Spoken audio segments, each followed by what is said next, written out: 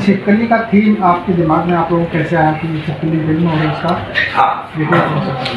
हाँ। मैं कई दिन कई दिनों से मैं एक चीज़ में स्टडी कर रहा था, एक नहीं, कई चीज़ें मतलब एक होता है पंचभूत मतलब जो वायु नेचर जो एलिमेंट्स होता है, जो फिजिक्स का यहाँ से बनता है पूरी दुनिया, हम। और एक होता है पंच इंद्रिय।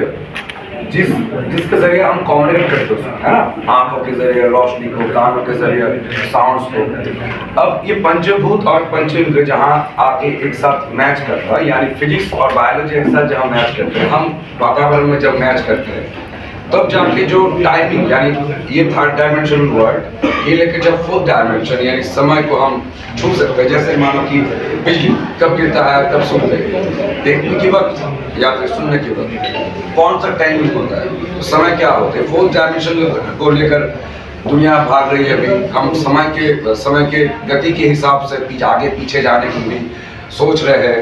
Quantum physics parallel universe another dimensions ये सब जो आम ज़िंदगी में करते रहते हैं, अब भी कर रहे हैं। अभी मैं आपको बोल रहा हूँ कुछ, लेकिन कुछ मीडिया चाहे होता है ना, अगर हवा नहीं होता, आप सुन नहीं पाते। तो हम चाहे कितनी कोशिश करें। अगर हम देख मतलब आँखें खुले रखें, लेकिन लाइट्स नहीं होता तो जितना ही हम आँखें खुले रखें हम देख नहीं सकते।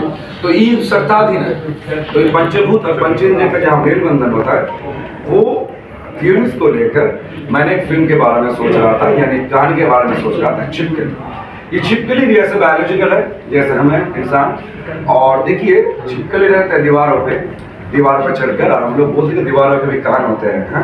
और छिपकली देखिए, ऐसा एक मतलब छिपकली प्रतीक है यहाँ।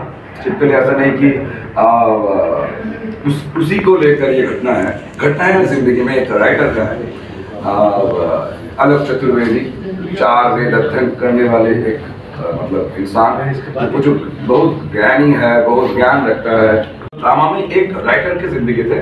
वो वो इसमें छिपकली वाला जो थियोरी या तत्व जिसको मैं थोड़े धीरे धीरे हाइपोथेटिकली ये मैं ऐसा नहीं बोल रहा हूँ कि साइंस है लेकिन क्या होता है आगे दर्शन होता है ना दर्शन आगे होता है साइंस उसके पीछे भागता है। जैसे कि मान लो कि हम सौ साल पहले कुछ इंसानों ने सोचा चाँद को देखकर कि हम वहाँ जा सकते हैं। तब के लिए बहुत मतलब ये मज़ाक ही है ना? सब हंसता है। अ, शायद कोई बोल दिया कि हाँ पीछे आग, आग लगा चले जा तो देखो वही है तो होता है दर्शन। अभी पीछे आग लगा के वहाँ पर पहुँच जाना ये हो गया रॉकेट हाँ? और धीरे धीरे एक जमाना ऐसा आता है। कि इंसान ने वैसे ही मतलब एक चीज़ के ऊपर पीछे आग लगाता है और चले जाते हो तो दर्शन पहले आता है कि हम क्या देखें जैसे गैलीलियो पहले दर्शन करते हैं उसके बाद वो आविष्कार करके प्रूव करते हैं। फिर आइजैक न्यूटन तो ग्रेविटी तो है लेकिन उसने दर्शन किया पहले उसको। उसके उसके बाद प्रूव किया। तो आ, ये जो थ्योरीज है ये वाला नहीं था। वो कहानी में वो था एक राइटर जैसे आम ज़िंदगी में राइटर होता है फ्रस्ट्रेटेड उसका आक्षेप, उसका वेदना, उसका व्यथा, उसका जो किताब है वो ना चलना और वो बाज़ार में लिखा, उसको आता नहीं। मतलब कैसे चौंका है, कैसे हंसा है, वो सही लिखता था। मतलब आम जनता की कहानी, जिसके बारे में कोई लिखता नहीं, कोई सुनता नहीं है। हाँ ये सब लेकर आम ज़िंदगी के लोग कौन सुनना चाहता है? सभी को फैंटेसी चाहिए होता है मज़ा चाहिए होता है रस चाहिए होता है। और डबल मीनिंग के डायलॉग ऐसे बहुत सारे, आजकल साहित्य को क्या हो गया वो फ्रस्ट्रेशन फ्रस्ट्रेट था। ये सब तो बर्बाद कर दिया। ये नहीं चल रहा है अच्छा नहीं ये जो मन का जो किलर ये जो मन का जो खूनी या चोर पैदा होता है तो आप इसको कैसे मारोगे? मैं पाप नहीं कर रहा हूँ। मैं कर रहा हूँ नहीं सिस्टम है। लेकिन मैं मन में कर रहा हूँ। अब ये मन के पाप को जो पकड़ने वाला है, वो एक ऐसे डिटेक्टिव होना चाहिए ऐसा पुलिस होना चाहिए, या खुद होना चाहिए हो, जो मन के चोर को पकड़ता है, मन के पुलिस तो ये कौन से मुझे आया कि जो मस्तिष्क है हम लोगों का, यानी मैं अभी साउंड लाइट्स पंचेंद्रिय पंचभूत के बारे में बोल रहे थे। और मस्तिष्क देखिए सबसे गतिशील है, सब मतलब गति मतलब अब अगर आँखें बंद करके अभी हम चाँद चले जाए तो एक सेकंड में चले जा सकते हैं।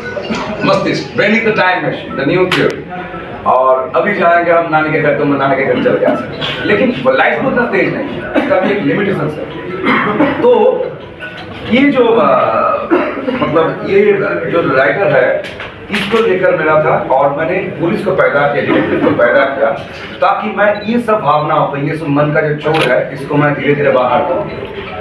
रिफ्लेक्शन है अपना रिफ्लेक्शन है। जैसे मैं सोचता हूँ मेरा जो अंदर प्राइम है और जैसे जो मेरा जो अंदर दर्शन है, ये सबको मिला के ना मैं पहले लगेगा खिचड़ी पकी है। खिचड़ी भी तो अच्छे लगते अगर अच्छा लगा तो ये खिचड़ी जम जाएगा।